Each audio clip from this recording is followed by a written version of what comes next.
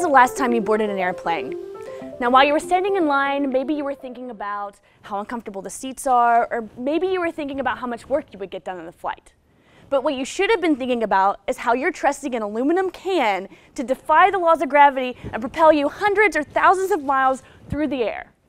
As an aerospace engineer, I am amazed by what an aircraft can do. I am also in awe of the complexity and innovation that is involved in designing this system. Take, for instance, the Boeing 787 Dreamliner. This aircraft has over 2 million parts on it. Not only that, but the aircraft was designed by 47 companies located in 10 countries. You see, in addition to developing this technologically advanced system, Boeing had hoped to globalize their operations. By distributing their design process, they had hoped to increase their innovation while also decreasing their costs. But instead of a cost reduction, the Dreamliner went from an expected $6 billion cost to over $30 billion in development costs. I'm guessing you're wondering why the significant cost increase at this point. Well, one of the contributors to the cost increase, according to Forbes, is the significant challenge faced in coordinating decisions between the different designers.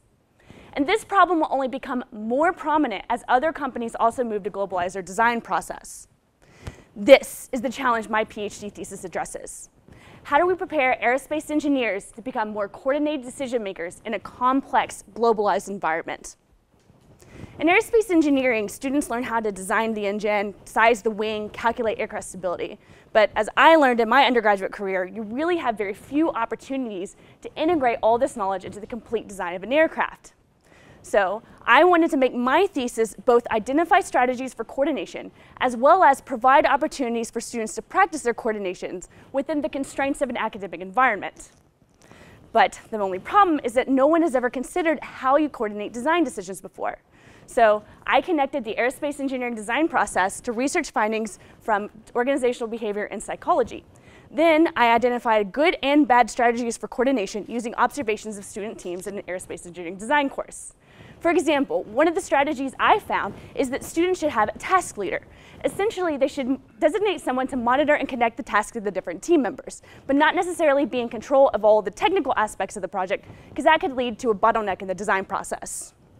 In the future, I want to work with industry to expand my findings and make it applicable for more than just aerospace engineering. I also want to make my findings work in industry for professional training, for training professional engineers. So, the next time you're standing in line waiting to board your flight, think about all the innovation that went into that, creating that aircraft. And think about the innovation that's possible once engineers are fully prepared to interact in this globalized, complex environment. Thank you.